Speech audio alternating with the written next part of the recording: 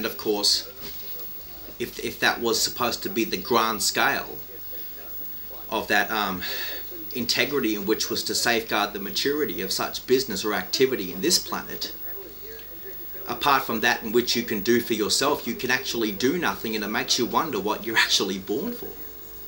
It's not to discredit or discourage people, none the least. I mean, again, life is sort of like a, a primeval sacrilege, isn't it? Well, they'll take away your entitlements and think that you're actually not entitled to be able to talk about God and even build the civilized world on a premise of God and the stars and the heavens above, like Egyptologists.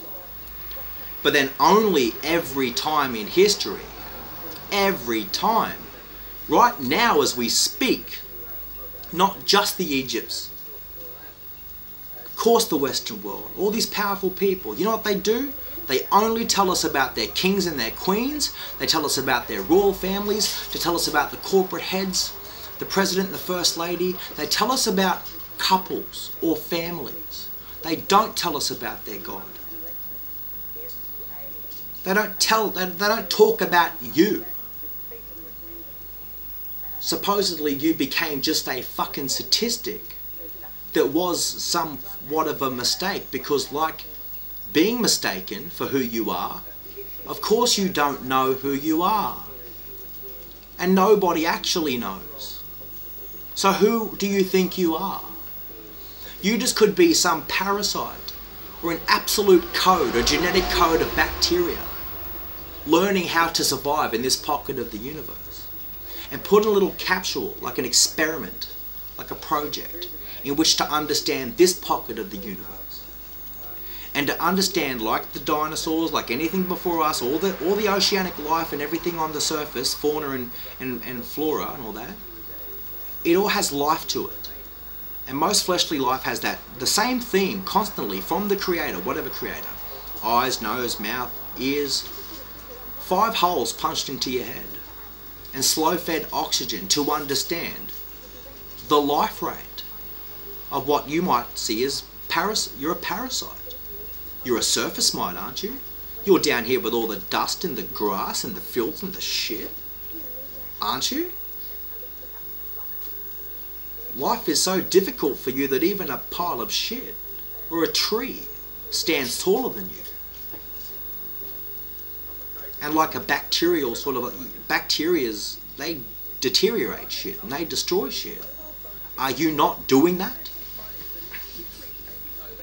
Is it not something to do with being able to understand anything verifiable in this pocket of the universe that has very much experienced so much peace and environmental subtlety, you wonder why you've actually had such a free, willing engagement with this place and yet found yourself overriding it willfully, damaging it, like on a highway policy, there's like popularity card.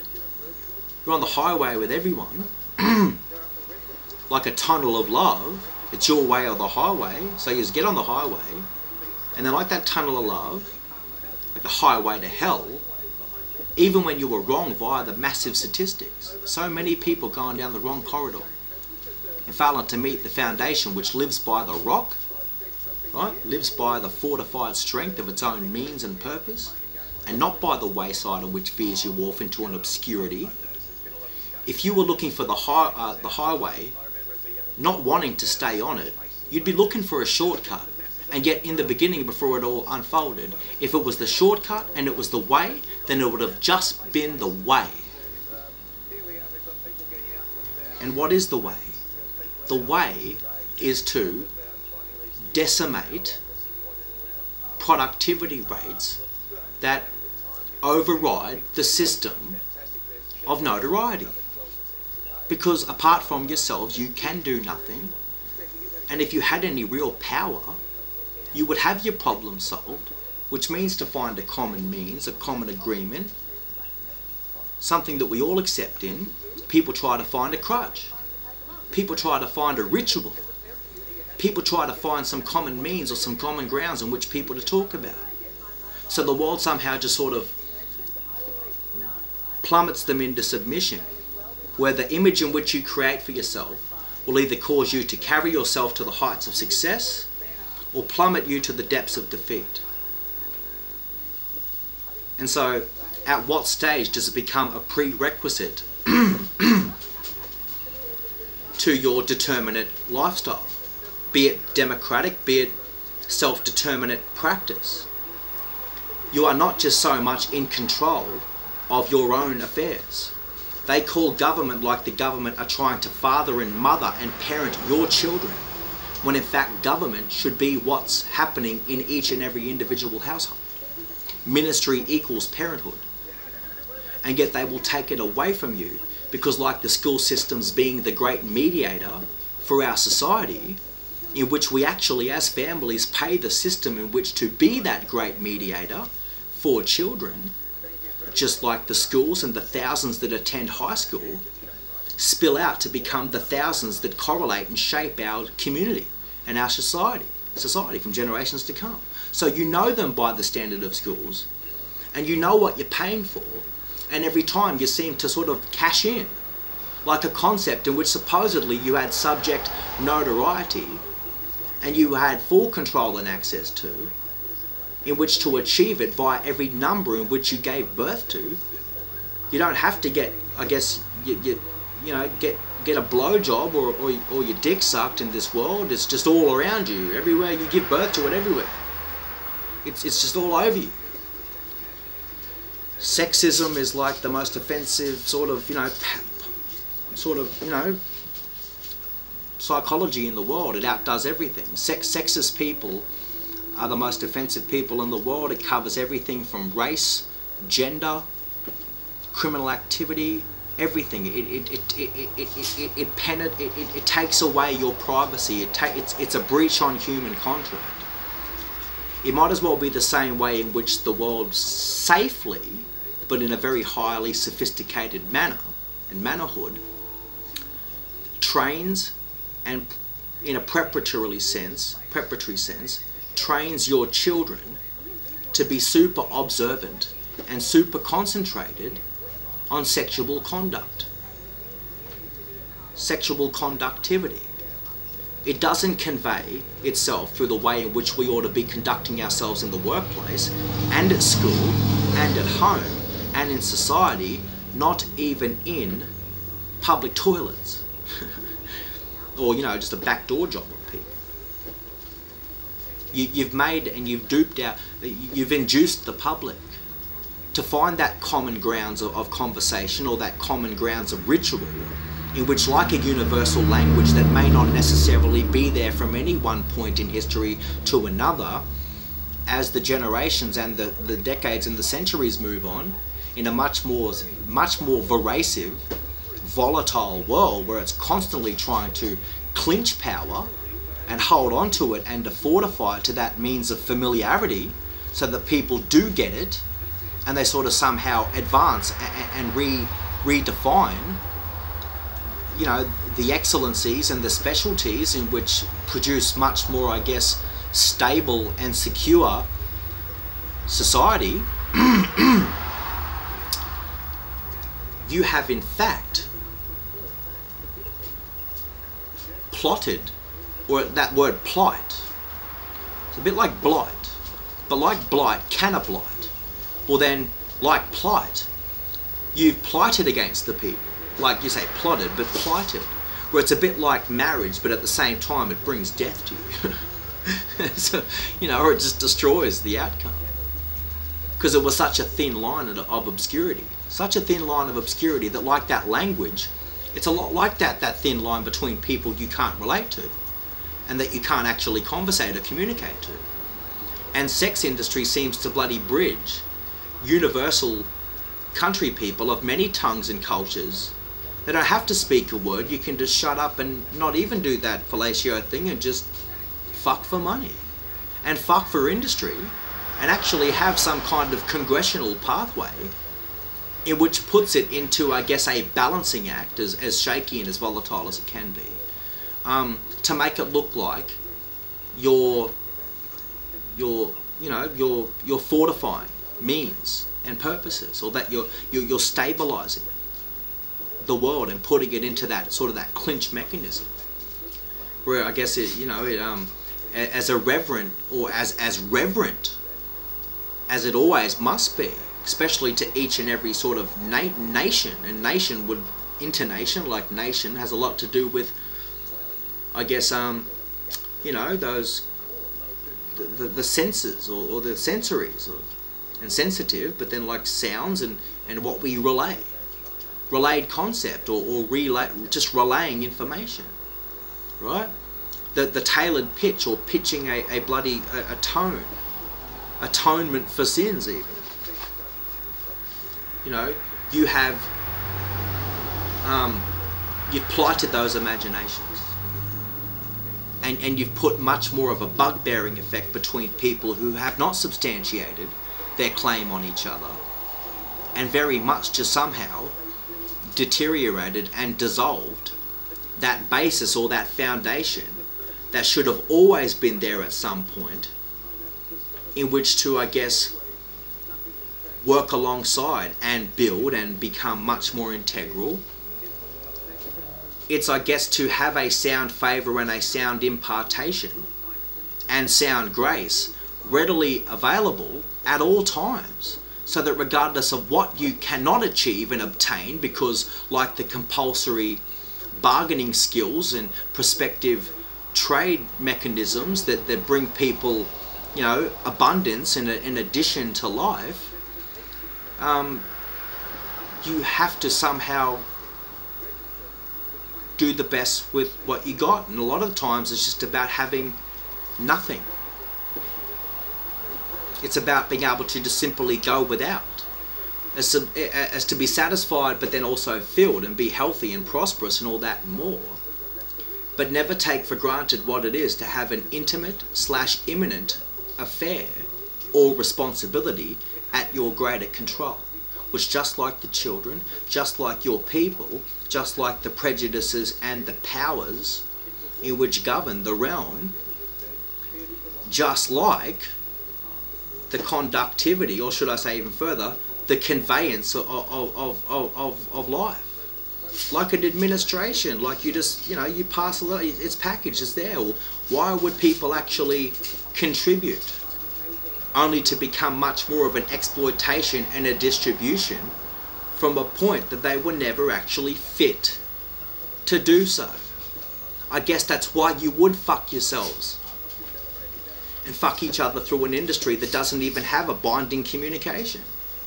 You sort of fuck and become some sort of a, a lag or a lackluster approach even, where it, it does in fact fail to, to fortify the means and the strength of civil liberty and civil society, you know, um, to, you know, perpetuate.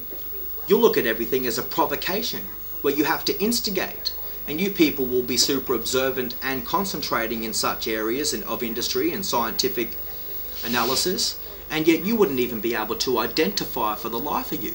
Like a pulse or an impulse mechanism, and you just had it laced with karma, it happened right underneath your pulse. It wasn't even found compounded on your daily outlook or that daily input. It would never suffice the level of output because you, it just ain't about you. The moment you start failing to adjudicate the process, like failing to use or utilize denominations, like every human individual, like every viable systems trait and industry and every goddamn card that you can pull on people, like an option for families to invest in and spend on, right? You become much more um, fragile in, in, in, in mental stability and as detrimental as time always is, time is the greatest indicator. And at what cost do people start elaborating those fears to the point where, like a self driven interest, and going without, and finding a greater way in which to be more willing to do for you what people cannot do for you? You know, do for your country what you can't do for yourself or you know do do you know what I mean or what do for your country what your country can't do for you what your country cannot do your country cannot guarantee the best possible education for your children every time you put them in school. Your country cannot guarantee strong economic management. Your government cannot guarantee, your people cannot guarantee a one size fits all legislation that starts and exists within the family home, not every time you roll up to an office at 2 o'clock in the afternoon because they don't hand out applications at 4 o'clock in the afternoon.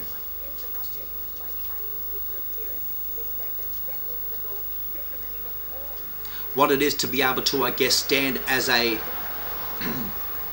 as a as a as a as a as a highly manipulative slash vulnerable slash gullible life form in the face of whatever maker be so godly fearing and in fear of one another that even in the face of your own opponents take your own people for a sick joke and do it by jumping on a foreign bandwagon or an industrial bandwagon and, and, and find it so amusing but only be faced with it through the humility that steers you towards war and complete reprobation and total annihilation militarily, physically. Nothing is ever too late spiritually, but that spiritual discernment, like the story of creation, has to be able to highlight the perfect indication as to where, of course, you take people for a, a, a joke, like like the wayside or the rock to be able to take what you've got and do the best with what you've got. If people understood that, do for yourself what your country can't do for you, then like conscientious objection and it being the greatest inconvenient truth that Al Gore could ever not who could ever fail to pick up on while he sells that movie for dollars and cents and shit. You know, conscientious objection where you're too busy trying to tell people a story rather than perfectly distribute to them that lecture that they should have had. You'll find that the lecture is the one thing like a free world, a democratic free speaking world, find more deadly and dangerous to their political outcome than any strain of poisonous material that infects the bloodline and affects the community to destroy and rob the entire environmental outlay in which to fall back on, on as a form of disrepute every time the indemnity is brought before not just the law courts and, and the people the Justice Department, but every head in which the broadcasting agencies send out to the, the air and into our living rooms and our family home. Because it's like the way in which the children bring it back from school. If the parents weren't somehow in line or in tune with that, and school was 24 7 for kids, people say they can't do nothing for themselves. You don't have any time. But you'll work a 38 hour week, and if you had 8 hours sleep a goddamn day, in a 24 7, 168 hour a week existence. You got almost double free time than you do work time, and you're the first people to say you don't know how you can't get anything done for yourself. And you go ahead and blame it on sleep. The kind of people that'll show up to a seven mile drive through at McDonald's as a 47 year old school principal, the female, the mum, the 53 year old university lecturer, the hubby, and the three teenagers in the back, three budding little superstars, a 19 year old Derek's, you know, uh, he's a he's an information technology, he's working in information technology. You got a 17 year old, you know, um, Buford, who's, you know, he's a soccer player, he loves his soccer, and then the 16 year old Lachlan, who's 60, he's a soccer player too. And yet you'll go, you'll be at McDonald's as that family on the kind of money you are, probably still paying off a mortgage and you'll spend 60 bucks on McDonald's, that's 6,000 cents. Don't make dollars and don't make cents. One dollar is a hundred cents. But then you didn't realize somehow, like, you know, you didn't realize that you just asked teenagers to make your adult ass dinner. It's the same even in the big, powerful, robust sales sales marketing companies where you know the, the big bloody 40 mid 40s bloody marketing expert who's on a multi-million dollar package every year is walking around the in the streets looking like a cool dude and he's you know he's he's got 180 dollar tires or 300 dollar tires and he's just so up himself with you know he's, he's something that keeps his ass up like a fucking pedestal everywhere he walks. He's so cool but then he'll be the ones just like his his his sidekicks and his managers and his supervisory staff and all of his close associates and colleagues at McDonald's too. and at KFC constantly asking teenagers to make your adult ass dinner. And then you might say because you're robbed of the time, you don't have time. That's bullshit.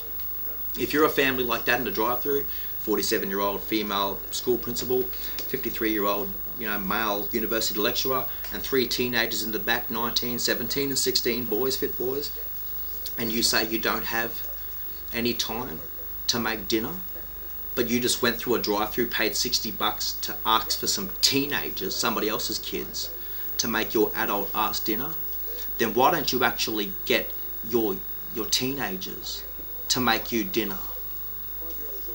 You wonder why their rooms are so dirty and filthy. It's the one part of the house you can't get them to do anything.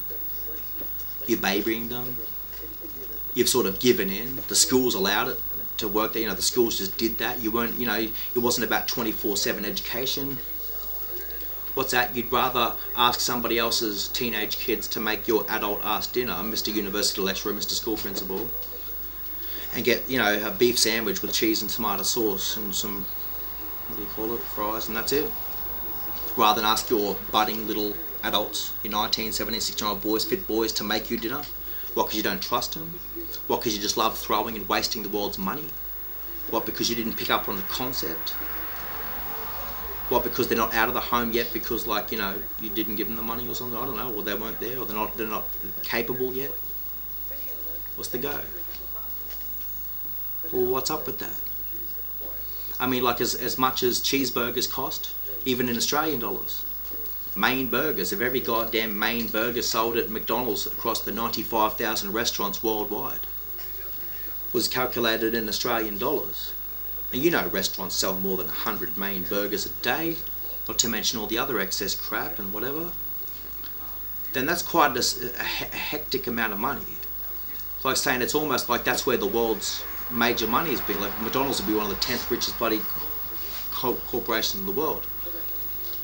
Maybe, but then it's like, well, wouldn't governments and society be so much richer and so much together, power of unity, if you just ran the whole country like a cheeseburger factory? You could do the math in Australian dollars, it's absolutely hideous.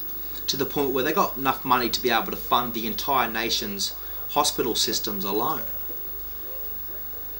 And yet they've only got a plastic box out the front of the counter after you pay that hideous, ridiculous amount of Australian dollars for McDonald's food. And it's called a Mater Children's Ronald McDonald House, Ronald McDonald's House Fund for sick kids. And they'll say, oh, you know, can you, after you pay all that money, they say, oh, can you please give us some money so that we can help sick kids in hospital? Like apart from the money and the profit revenue they raise, they only seem to somehow just they expect more money out of you to help somebody else's kids rather than your own who should be on their own two feet or have every dollar within your within your greater investment doing the best with what you got to ensure that they they can stand on their own two feet or get a job or don't get sick or have more attention to themselves and understanding yourself. It, it was never designed that way. It was only ever designed like a system to stand in between you what you got and what powers can do to take it though pick it pick at pick at you like snakes and strike at you like a pit full of snakes right? Where why would the homeowner bypass you as a tenant and give a weekly salary to a real estate for managing your rental goods your rental payments? The real estates always make a weekly payment every week. Why would the owner actually bypass you and give the real estate like a a reward who the fuck stands between you and all your entitlements and takes from you and ultimately determines your outcome? You're not even entitled to the bond at the end. You'll pay four years worth of rent at $70,000 in total. You're not even entitled to your $1,200 bond money, four weeks bond. At what stage do you give someone 216 weeks worth of rent and you're not entitled to four weeks if it means peace I, peace I give you, peace I leave with you? And at what what reward after 12 months worth of premium payments give back 10% as a real reward? It's a real reward. It's not there. Well, this is again, why, why would the system be out there forcing you and your families to buy into it? Because you don't have anything. This concept, notoriety, scheme of life, in short, is what's called conspiracy, spiraling, a spiraling affair. We're not down because you are so far up yourself. You're not down. You're just not so down and you're just not so penitent and, um, and remorseful. You don't have any amendments. You don't even rectify everything every step of the way and discern it. Some countries don't actually have amendments, like they haven't put it in concrete because they're too busy trying to solve at some stage what it is to lay out some and then further capitalize and, and, and show provision for that so that it can keep their percentages intact and run you to the frigging ground like a bunch of recycled products through whatever industry and, and translucent affair that you call your life. That, you know, didn't have to go home as if that was all you were doing in this world. To be homeless is like unheard of. But like that title, and like that special badge, your job security is so important to you, especially in times like war, that it actually breaks your judgment. You can subliminally nod your head and fail to input anything, but you know you've got the mortgage to pay. You got the duds and the socks and the whole fucking system and the scheme of your life in which you work in the industry could be so corrupt. But even you don't even have the sensibility or the protagonism in which to change or even, you know, to, to, to be to be what you are, I suppose, what you were employed to do, to be super fit with a specialty or an expertise in which to promote and build and, and capitalize on. You wonder why the world falls into fascism so quickly. When capitalism falls politically, fascism kicks into gear. But all fascism is, is a cover up of what is poverty. It's important to know what poverty is. Because poverty is power. Power actually creates the poverty line, and people are paid dirt cheap in order to stay there. Now let's look at what it actually means, I guess, to be impoverished. and it's very important because I'm sure it would it, it, would depict, I guess, you know, the, the cruxial dependency of what people ought to think what poverty is. We know what embezzlement is. Embezzlement is the second biggest trade industry in the world apart from pharmaceuticals, which is drugs. Embezzlement, where in 20th century scale of racketeering and network rackets, was like money. Of course, money is so famous to what is known as the embezzlements, embezzlement rackets or embezzlement industries, movements, embezzlement activity. But then humans, humans are the new form of currency when it comes to embezzlement like live or dead animal stock. Same thing, human trafficking, asylum seeking, they are, they're the scum of the earth. And so, poverty, here we go. This should pretty much be almost similar, if not synchronized, with what exactly fascism is. But of course, whatever capitalism was when it was perfectly looking so strong and so above us that we're not down with it, poverty the state of having little or no money or resources except for the basic needs. The state of voluntarily giving up personal possessions and income as a certain religious order.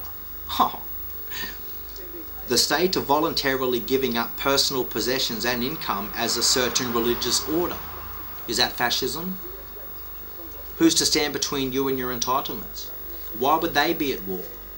Well, it's not your war, but then to give it up for whose war? makes you wonder why the fuck they're at war. They're at war because their concept sucks severely. It's like, you know, the fuck do you need somebody else's ammunition to fight your war? Why would you get into it in the first place? Well, it's like your name ain't Earth. This ain't this planet ain't Earth. The planet has a real name. It should be up there with Lyra and Vega in the star chart. What actually you know, gives you a perfect description as to what your name is, should be what's more readily, you know, subtitled or, you know, um, you know, it substitutes what your greatest industry in this world is. Or like the rate of, the rate of industry. Death. Poverty. You might be mistaken that the number one cause of death in this world is, is diarrhea So if diarrhea is at the heart and the core and the forefront of human survival, if you don't eat, you don't shit. If you don't shit, you die or something. Then your name isn't Earth. Earth was like a project gone wrong. You are pellagra. What is pellagra? Pellagra is like diarrhea. It's a vitamin B deficiency and all that sort of shit. So like Lyra, like Vega in the in the astro- astronomical star chart, your name is Pellagra, and you very are much Pellagra. That's why it concentrates so much on sexism and fashion. It keeps you dollied up and looking pretty and all that, but no, nothing. You might say eating is one of your top three favourite things to do. Duh. Again, you might be duped to believe that forbidden fruit tastes sweeter. When it's very hard to eat diarrhea with a fork, rub it off a wall, or accept abortion on toast.